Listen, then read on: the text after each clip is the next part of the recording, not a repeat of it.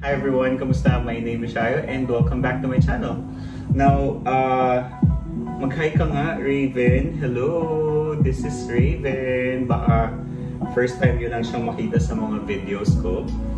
Um, 8 months na siya today, di ba? Yun, so ano nga ba itong video na to? Actually, ang daming nagtatanong sa akin kung paano nga ba magkaroon ng puhunan para sa business.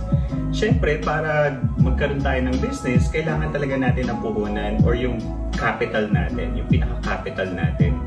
So I hope kung kagaya ko kayo na into business, online man yan o isang retail store, um, I hope magustuhan ninyo itong channel ko kasi I will talk about businesses, business ideas, mga financing, um, kung paano makatipid, So, yung mga ganung bagay. I hope interested kayo sa mga ganung bagay. Also, just to mention, no, hindi ako financial advisor. So, nagkaroon lang ako ng opportunity na mag-start ng sarili kong business at I'm sharing kung ano yung mga natutunan ko throughout the years. So, hindi ako expert para para lang klaro tayo, okay?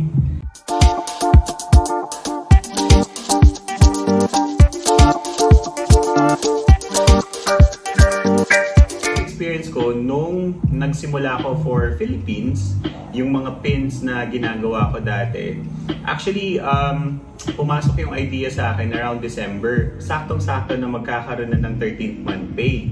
Kaya, isa sa mga magandang opportunities ay yung mga ganong klaseng incentive, yung 13th month pay. Bakit nga ba magandang gamitin ang 13th month pay para sa puhunan sa business natin? Well, hindi mo siya gaanong pinaghirapan, di ba?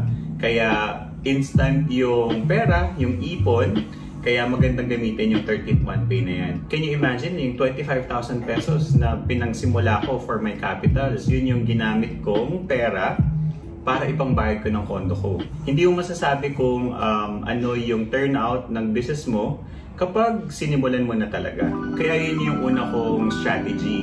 Gamitin ang 13th month pay para sa ating puhunan or capital. Madami din sa iba yung mga nangungutang ha, be it sa kanilang pamilya o sa kanilang mga kaibigan. Um, hindi ko to masyadong ma-recommend kasi imagine niyo na lang no, kapag inutang natin yon ang laki ng pressure sa sarili natin para mag-succeed dito sa business na to. Kasi kapag nag-fail tayo sa una nating business, tas inutang lang natin siya, hindi natin sila mababayaran kaagad, Then sa susunod na lumapit tayo sa kanila, kunwari nagkaroon ng emergency, may hirapan na silang magtiwala ulit. Kasi syempre, hindi nga natin naibalik yung una. Kaya hindi ko ma-recommend yung mangungutang sa mga pamilya o kaya mga kaibigan. Baka masira pa kayo doon. Gusto ko rin isipin kung ano nga ba yung magagamit ng perang yun para sa kanila. Syempre, di ba? Pera nila yun, pinaghirapan nila, pinagtrabahuhan nila. So, it's only right na kapag in-offer sa inyo, siguro doon yung pwede siyang um, hiramin or pag-isipan. Pero kung kayo yung mag-initiate at mangungutang, um, wag muna. Kumuha na lamang kayo ng SSS loan. Yung mga loan na ganun, sana hindi nyo siya gagamitin for anything else. Gamitin nyo na lang yung salary loan nyo sa SSS um, para sa business ninyo kung sakali. So yun yung mas uh, magandang option and it brings us to number 2, mangutang na lamang or mag-loan na lamang sa SSS para rin mas mababa yung interest. Sa business, kailangan smart talaga tayo. Lalo na kung kinakagat na lang ako netong si Raven na naman. um, kailangan sa business smart talaga tayo. Kailangan ng research, kailangan natin talagang maging ready for it pero don't overanalyze ha, don't overthink kung ano yung pwedeng gawin ng business ninyo or kung saan pwedeng mag-project yung business ninyo. Paghandaan lang natin siya. Maganda na meron tayong projections kung magkano ang kikitain natin, possible na kita natin. And of course, yung pag-return ng investment natin. Kaya rin ang isa sa mga ma-recommend ko ay magkaroon kayo ng isang investor. Isa o dalawa siguro, depende sa laki ng capital na kailangan ninyo. Ang mga investor ay yung mga willing magpahiram ng funds sa inyo. Sila yung may mga extra na cash.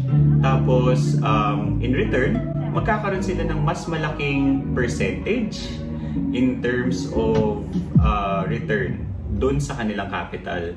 Most of the time, ang mga investors, sila yung unang nababayaran um, kapag kumikita na yung business. Yun. Tapos kapag, wait nga, wait lang, wait lang. Chill lang tayo, chill. Chill lang tayo. Tapos kapag nabayaran niyo na yung investors nyo, that's the time na talagang masasabi nyo na somehow kumikita na yung business ninyo. Kasi syempre, di ba, pinambayad nyo muna sa utang, pinambayad nyo muna sa investments and capital.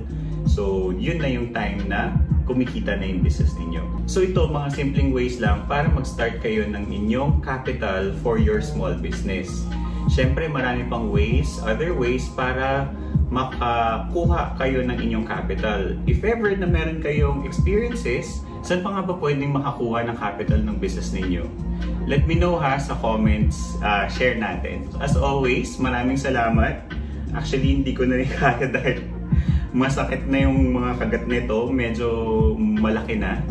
Um, salamat, pinanood niyo yung video namin ni Raven ngayong hapon for more videos na kagaya nito, starting your own business, um, siguro yung tips para makapagtipid tayo ngayon, and also yung um, anything on financials.